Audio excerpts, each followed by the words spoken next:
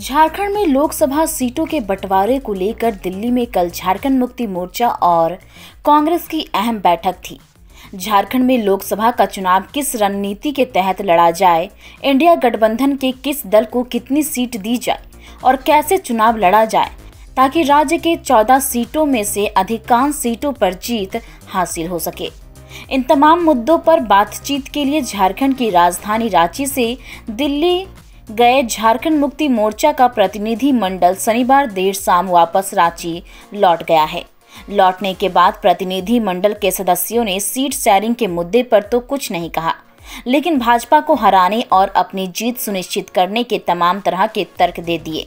हालाँकि सीट बंटवारे के मुद्दे पर नेताओं के गोल मटोल जवाब से इतना अटूट था कि सीट बंटवारा में गठबंधन के साथी दलों के बीच खास सहमति नहीं बन पाई है।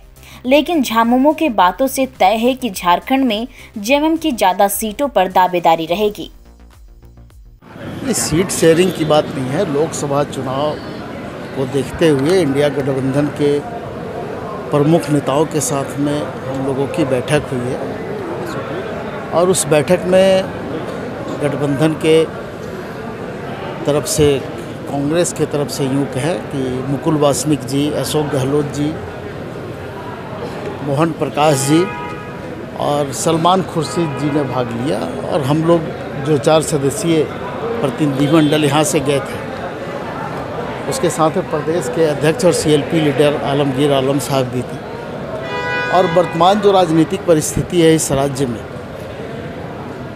उसको लेकर के चर्चा हुई। लोकसभा का चुनाव बिल्कुल सामने है। तो जो राजनीतिक परिस्थिति है, उस परिस्थितियों पर बातचीत हुई और जो ज़मीनी हकीकत है, उसको हम लोगों ने सामने रखने का काम किया और उस विषय पर हम लोगों ने बातचीत प्रारंभ की।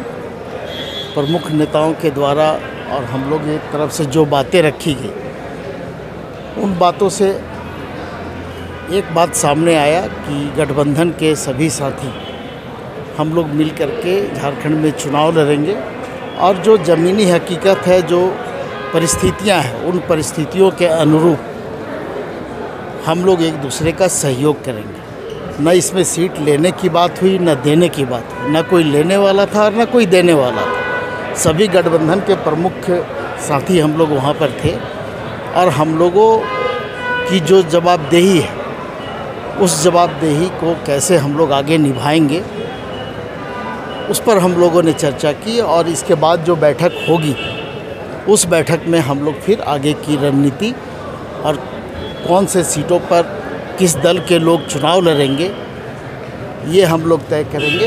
लेकिन एक बात तय है कि चौदह जो लोकसभा सीट है, उन सीटों पर गठबंधन के साथ ही पूरी मजबूती के साथ चुनाव लड़ेंगे और हम लोगों को पूरा विश्वास है कि गठबंधन के उम्मीदवारों की वहाँ पर जीत होगी। 2019 और 2024 के बीच में दामोदर में बहुत पानी बह गया।